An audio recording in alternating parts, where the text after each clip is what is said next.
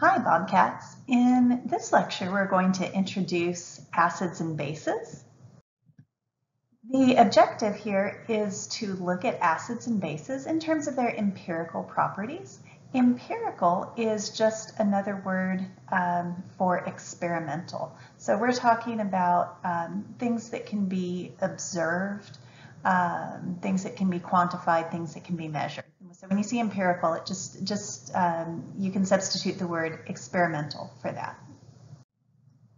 In face-to-face -face classes, I like to start this topic by asking the class, did you eat or drink an acid today? And lots of people look um, very uncomfortable with this thought that, oh my gosh, they could have consumed acid. Um, but the bottom line is that uh, many, many of the foods that we consume contain acids. Um, if there's any tartness whatsoever to it, um, orange juice, soda, any kind of fruit, coffee, tea, you'll be drinking something that's acidic. When we start looking at chemicals through the lens of acids and bases, there's actually another category of compounds that naturally falls um, with this, which is salts. So to give you uh, some examples of things, this first diagram uh, shows some things like um, vinegar and aspirin and some citrus fruit and some tomatoes and even vitamin C. And all of the substances that are shown in this first diagram are actually acids. In that second diagram, or the second photograph, the chemicals that are shown are bases. Some of them are weak bases, some of them are pretty strong bases, like the drain cleaner. Um, and then there's a third category of salt, um, which that third photograph is showing. Um, and those are some salts that you might have around the home. Um, that true blue aluminum sulfate is used as a fertilizer. Um, Epsom salt can be used for things like um, uh, soaking your feet in an Epsom salt bath. And then uh, that, that third piece there is just a regular salt like you would use in the kitchen for cooking. Now, the reason that these three things get talked about together is there's a very simple relationship among the three of them. And this relationship is that an acid reacts with a base to produce a salt. This type of chemical reaction is known as a neutralization reaction. Sometimes they'll use the full phrase acid-base neutralization reaction. Acids and bases tend to have somewhat opposite experimental or empirical properties. Uh, for instance, acids will taste sour. Think about something like a lemon, whereas bases taste bitter. Think about certain herbs or something like the uh, quinine in tonic water or even something like baking soda, which is a very, very weak base. Um, there's a chemical called litmus. Actually, it's a plant uh, that gets ground up and then um, used as an acid-base indicator. And litmus will react with acids and turn red, or it reacts with bases and it turns blue.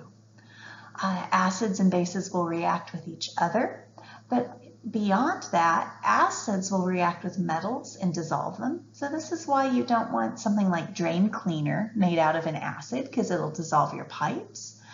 Um, bases, on the other hand, do a pretty good job at dissolving up the types of things that clog drains, like um, grease and hair and things like that um, because they do a reaction called a saponification reaction. Um, and they, they'll do that same reaction with even the fats in your skin.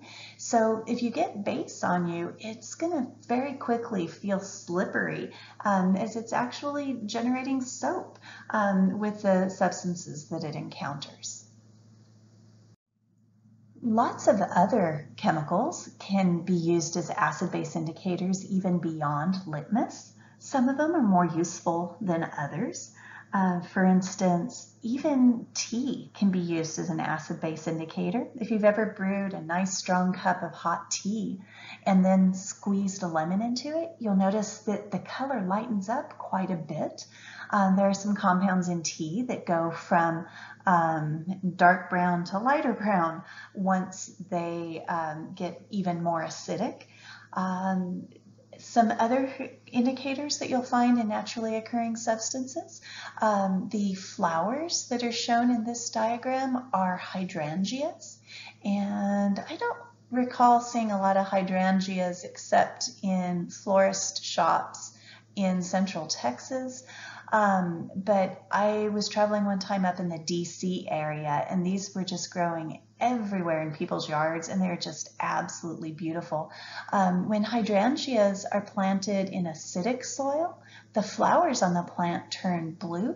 And when hydrangeas are planted in basic soil, their flowers will turn pink. So there are compounds in the hydrangeas that are acid-base indicators. Um, they belong to a family of compounds that are known as anthocyanins.